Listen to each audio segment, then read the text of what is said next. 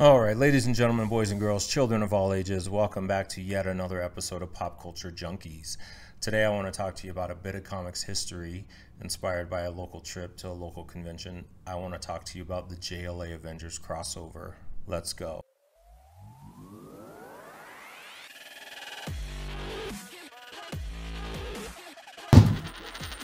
All right, everyone. Thanks for tuning in for another episode of Pop Culture Junkies. So recently, I was at the All Seas Comic Expo here in Denver, Colorado.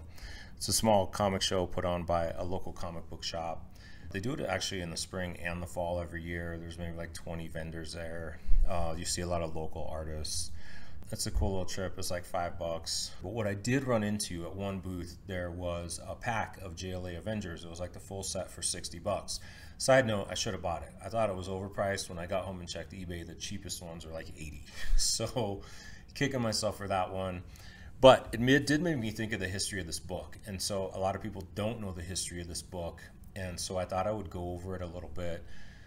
A lot of this information's out on the web. You can certainly Google it. I know a lot of people don't want to Google it all and read it. And so, that's why I'm going to give it to you here today. So, this book came out in 2003 people had been waiting decades for the JLA Avengers crossover, and that when it came out in 2003, it was amazing. It was penciled by George Perez, the the master. Who no one else could possibly have been brought in to do that book. Maybe Jim Lee, but who, who knows when it would have been finished at that point.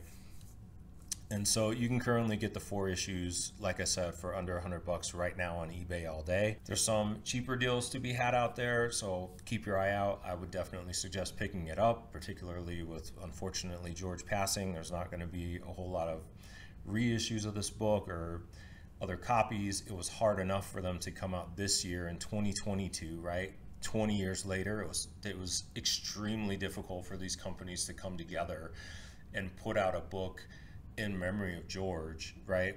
For this huge event to remember this monumental artist, and these two companies could barely get together to agree to put this book out. And to be frank, this book like prints money, right? You put JLA and Avengers together, it's printing money, and they still cannot do it. So, the real story of this book took decades, right? I remember, I remember in 2003 when it came out was monumental what I didn't remember really realize was all the decades before that, how much back and forth there was about this book. And so let's talk about it for a little bit. Spider Man and Superman first crossed over in 1976. Hulk and Superman crossed over in 1981. Batman and Hulk teamed up in 1981.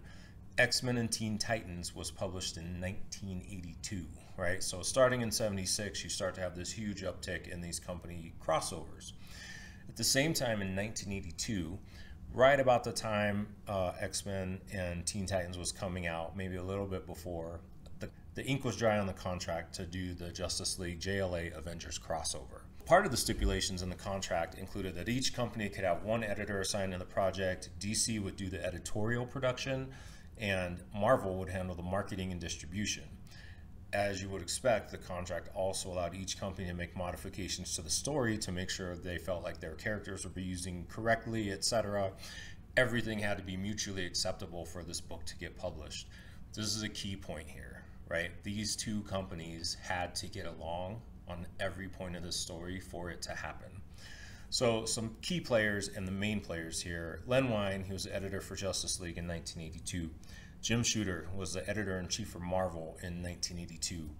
Mark Gruenwald was the Avengers editor in 1982. And Dick Giordano was a VP at DC and one of their editors as well. And so initially, the creative team assigned to the book was Gerry Conway, who had done both Avengers and JLA in the past, and Roy Thomas would provide the actual script. And then George Perez would do the pencils in case you don't know, a lot of times comic books they aren't written panel for panel every little detail that happens. Particularly in the 70s, there was what's called initially was called the Marvel style, where you would just give plot points to an artist, and they would draw the book, and then the writer would come in and fill in actual dialogue that matched the plot. That's why you have someone who's doing a plot, and that's why you have someone who's doing a script. The idea was Gerry Conway would do this plot, give the plot to George Perez, he would draw it, and then Roy Thomas would come in and do the actual script on the book afterward.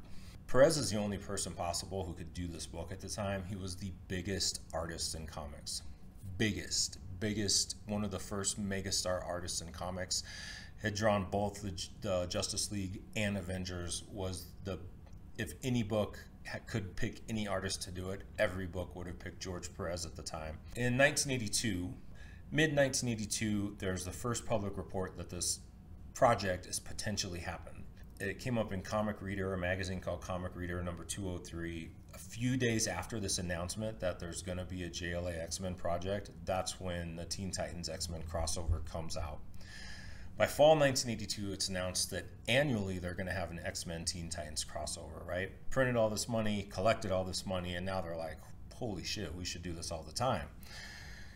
1983 was the planned meeting for Justice League and Avengers when everyone was told that you this book will be out next year. And so then the first signs of trouble started showing up almost immediately after it was announced. Jim Shooter is wondering where the plot is. He wants to see the plot to approve it before the book's ever put out.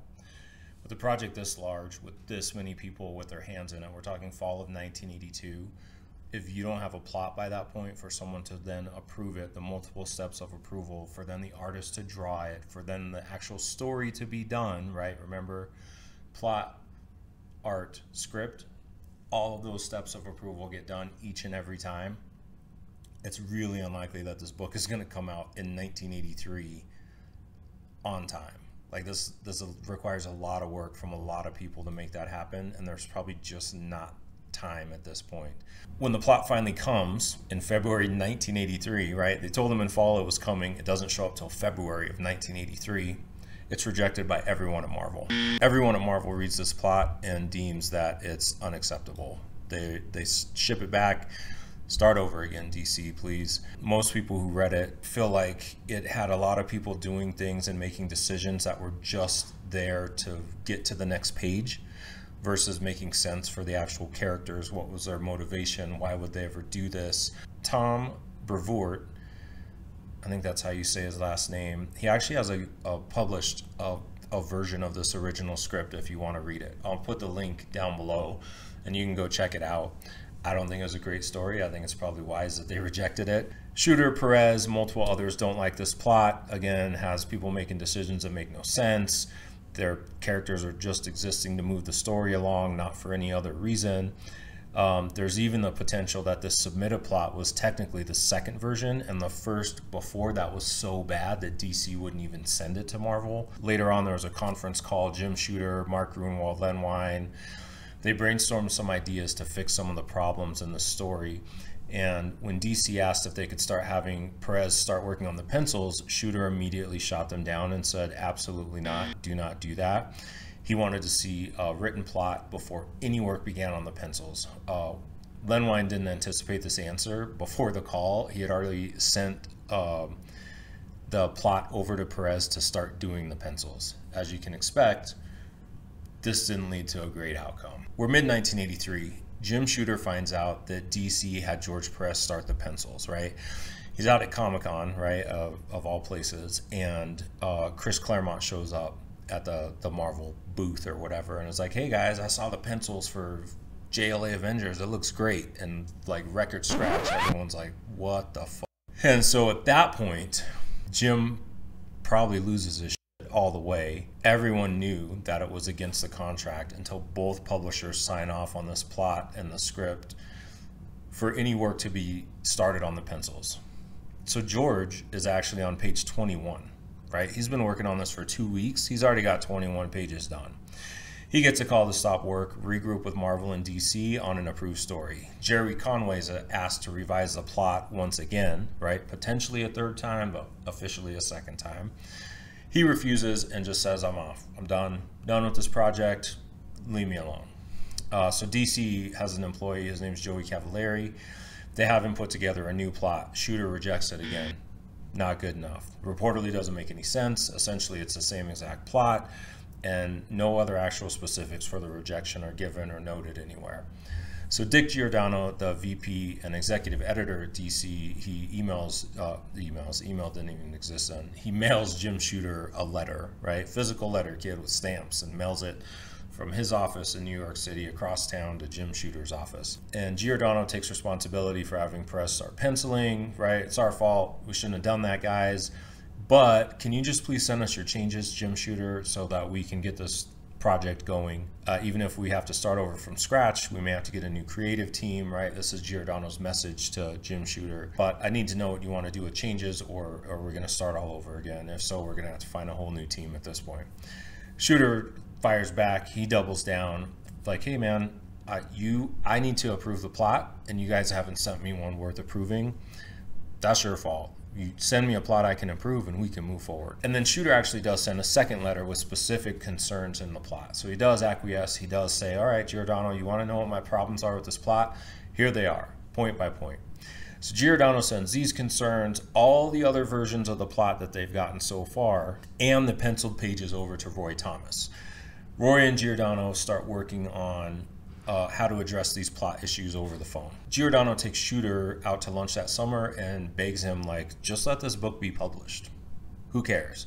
We it'll sell like crazy no matter what. We'll both take credit for this massively successful project. Who cares like what the quality of this is?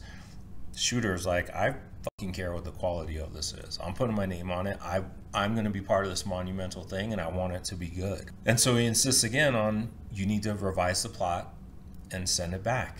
And so, summer 1983, Roy Thomas turns in a completed plot. Remember, this was fall 1982. They said this book would be out in 1983. Now we're all the way to summer. The story hasn't even been approved yet. So Roy Thomas turns in a completed plot. It's given to Jim Shooter in July. I believe was, the rumor is it was hand delivered to Shooter in person. There's some debate about that later on between the two parties. Jim saying maybe it wasn't hand delivered, DC insisting it was. Again, it's like 50 years ago at this point, and I don't think we'll ever know the truth on that part, guys. Both companies, right at this time, this is July of 83, so they're getting ready for Comic Con, uh, San Diego Comic Con, which typically happens in that July August period every year, right? And this was when Comic Con was huge, right? This was the glory years of Comic Con. So both companies are ramping up for it. Giordano Marvel doesn't respond to him sending over the script. Giordano's not that concerned because he's like, well, they're getting ready for Comic Con. We're getting ready for Comic Con. We'll hear from them, you know, afterward or whatever. Tom DeFalco, uh, another editor writer who reviewed Roy Thomas's version, actually felt like it was an amazing version.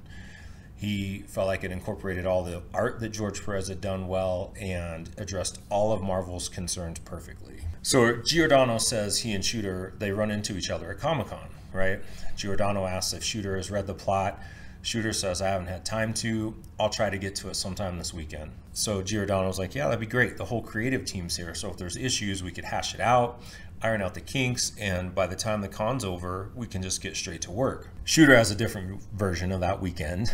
um, he says Giordano handed him the plot at that point, right? This is where that whole hand delivery thing days earlier gets a little twisted. But again, if Giordano didn't hand it to him before, why did Shooter say no, but he'll read it that weekend? I don't know. I'm not calling Jim a liar. I'm just saying some like clearly these two stories don't add up between them. That's, and they're both going to take it all the way to the end. So he says Giordano handed him the plot when they saw each other at Comic Con and asked for instant approval. Here's a, here's a copy, Jim. I need you to approve this right now. Shooter refuses. I'm not going to give you approval right this second. I'll take it back and read it and get back to you guys. Giordano denies that he ever asked for instant approval. He, he says that's something that Jim is making up and that was never a thing. In any case, in August of 1983, after Comic Con, anyways, in August 1983, after Comic Con, Jim finally reads the plot. He asks the Marvel staffers for feedback. The Marvel staff feels strongly that DC is not trying to put out a quality book, but to make a quick buck. And Giordano tried repeatedly through August of, of 83 to actually get in touch with Shooter. So Dick Giordano is pissed that it's taken this long. Shooter thinks it's fair. In the back in the olden days when they did the whole Spider-Man crossover with Superman, right? That was what 76. It took DC 2 months to approve the plot. And so to Jim's mind, he's like, "Look, you guys took 2 months when you were looking over plot points to see about this book. I've only looked over this version. Again, you've given me the, the third one here.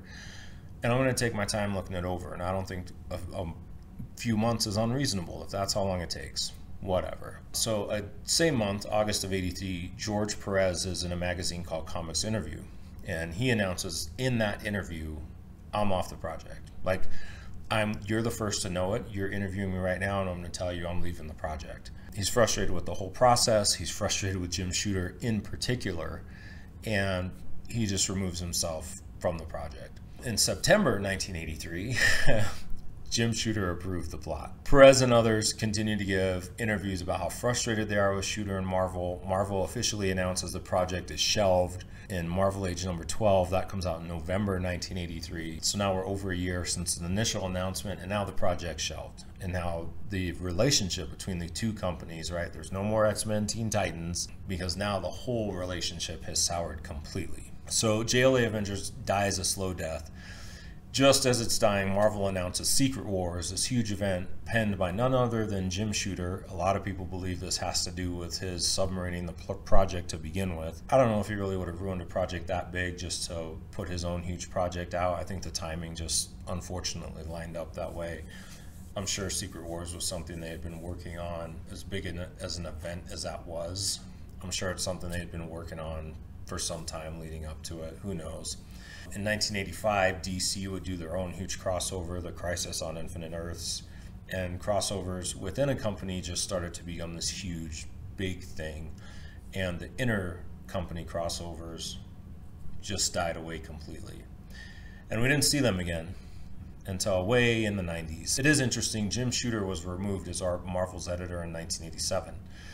The exact day he was removed, George Perez contacted Dick Giordano and said, Hey, I still want to do JLA Avengers, just FYI. It took until 2002 for the companies to get all of their shit together, and we finally got the JLA Avengers crossover. Uh, it was written by Kurt Busiek. It was penciled by George Perez. Again, the only person who probably should or could pencil it. Kurt's an amazing writer. He did an amazing job on the Avengers reboot with George Perez, and it's a it's a great great crossover story. It does make sense what the characters do, and so if you see it out there, you should pick it up. But this was really just I want to see if you guys. I love the history, the lore behind these books that get made. And I thought when I saw those books at the show this weekend, this is a great story to tell to make sure we kind of preserve you know what went into making these books. Remember, if you like this content, guys, to hit the like, hit the subscribe, and I'll see you on the flip side.